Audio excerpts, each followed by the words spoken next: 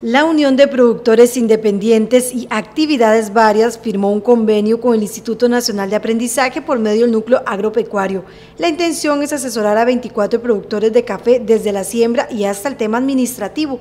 Este proyecto se comenzaría en el 2020 y se espera desarrollar en unos cuatro años. O sea, me parece que una eficiencia a nivel administrativo en, en nuestras fincas, y pues yo me siento muy satisfecho. Para mí el INA es la universidad más mejor que tenemos nosotros en Costa Rica eh, y me parece que en buena hora que podamos arrancar con este grupo de caficultores y que vamos a hacerlo de la mejor manera para poderlo ratificar y hacerlo eh, con grupos de diferentes agricultores de las otras áreas. Entonces, yo creo que se van a seleccionar esos? Ya están seleccionados. hay, hay, un, hay ¿qué le digo yo? Como una eh, convención, dos de UPIA, bueno, y con la dirección ejecutiva y la gente de Lina que se está trabajando ya en esa formalización. Entonces, me parece que en buena hora que podemos arrancar en esa línea. Los caficultores, quienes participarán, ya están seleccionados. En principio estamos prácticamente que seleccionando dos por distrito, eh, de gente, gente que, está haciendo cosas diferentes eh, y que están dispuestos porque tienen que asumirse una responsabilidad